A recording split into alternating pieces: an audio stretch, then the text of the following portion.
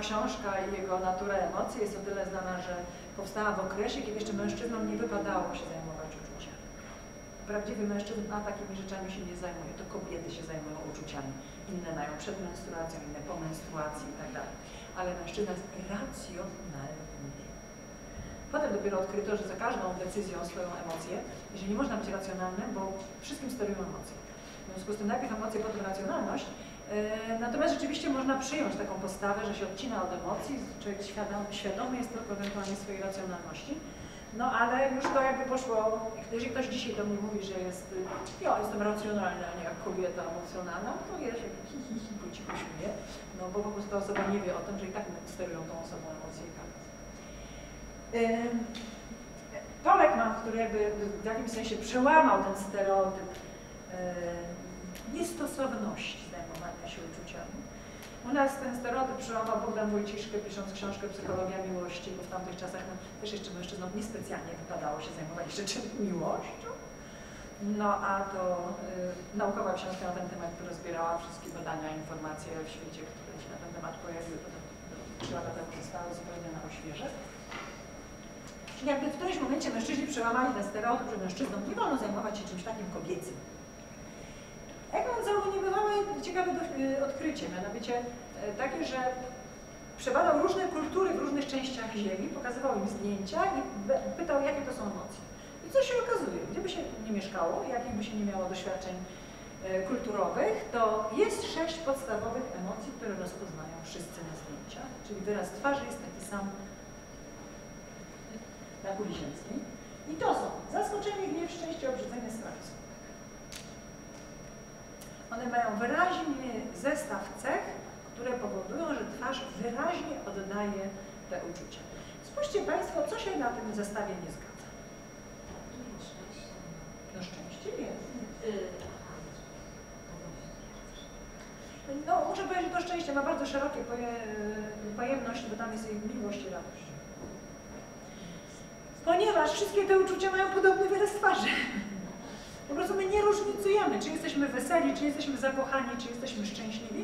Mniej więcej te same grupy mięśni na naszej twarzy ulegają napięciu, przesunięciu mm, i jest podobny wyraz twarzy, a te pozostałe uczucia mają wyraźnie inny i jest to bardzo głęboko zakodowane, właśnie niezależne od kultury. Zresztą dzieci do mniej więcej 8 roku życia, niewidome dzieci mają nieodróżnialną mimikę od dzieci zdrowych. Także gdzieś to jest bardzo głęboko zakodowane. Potem pojawiają się te rzeczy nowe, e, które się nauczyliśmy społecznie. To, czego tutaj, co mi tutaj nie pasuje, to jest to, że pozytywne uczucie jest tylko jedno. I bardzo pojemne. Jeden wyraz twarzy. Tak? Do tych pozytywnych uczuć. Natomiast tych negatywnych to mamy aż pięć. Tak? No zaskoczenie jest gdzieś, pytanie, czy zaskoczenie jest przyjemne. Może być tak, może być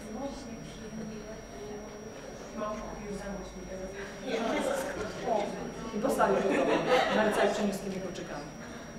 Jezu, to będzie kosztowało utrzymanie tego samego. Zawsze można znaleźć jakąś przykrość w tym zaskoczeniu. No i tutaj oddaję. To jest pan Jarosław Świat. Nie Jezus Maria. Tylko bardzo się cieszę, że zrobił sobie zdjęcia, bo byśmy nie musieli, a to byłoby bardzo trudne. E, wynaleźć takie zdjęcia i zrobić. Natomiast tutaj są bardzo ładnie opracowane do jego też badań naukowych, do jego szkoleń do policji i tak dalej. Dlatego, że no nie będziemy tego omawiać, najważniejsze dla nas jest tak, że jeżeli mamy tutaj przy, przykład radości, to zawsze przy twarzy e, z, wyrażającej jakieś uczucie będzie twarz obojętna. Tak? Dla porównania, jak się poruszyły te wszystkie części twarzy. Tu gdzie macie Państwo te kreseczki, tak? to pokazują to, na co szczególnie trzeba zwrócić uwagę. Więc na przykład przy radości, zobaczcie, są trzy punkty, które powinny się zdarzyć, żeby była szczera radość. To znaczy kącik ust idzie do góry, dolna warga się odsuwa, tak? I mm, policzek się podnosi, także oczy. I dlatego na przykład y, uśmiecha się bez ust, tak? A wiemy, że się uśmiecha, tam ma pasieczkę. E, że ona ma po prostu troszeczkę tutaj podniesione i my wiemy, że ona się uśmiecha, chociaż usta wcale nie są uśmiechnięte. No i teraz zobaczcie Państwo, lusterka prosimy. Do pracy, rodacy.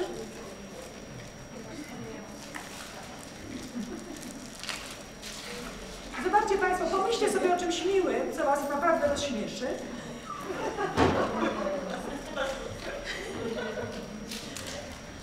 Tak, żebyście mieli szczere przez chwilę.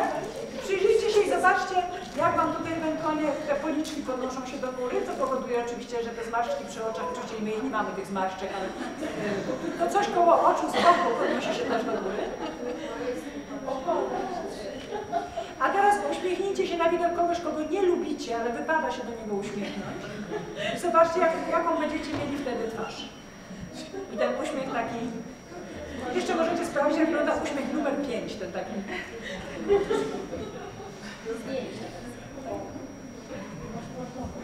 Taki, co trzeba się uśmiechnąć, bo wypada. Od takiego udawanego uśmiechu.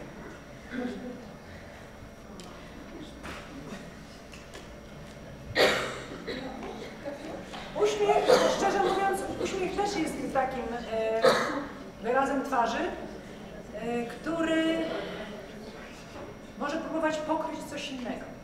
Jakieś inne uczucia uśmiemy pokryć uśmiechem. Ten uśmiech nie będzie szczery. Proszę szybciutko opanować, po czym macie rozpoznać, że uśmiech jest nieszczery. Więc jak ktoś Was okłamuje, to będzie się do Was sympatycznie uśmiechał. Tak, żeby zmienić atmosferę nie? i zobaczcie wtedy, co, po czym rozpoznać, że to jest nieszczery uśmiech, kiedy ten ktoś Was y, nim obdarzy.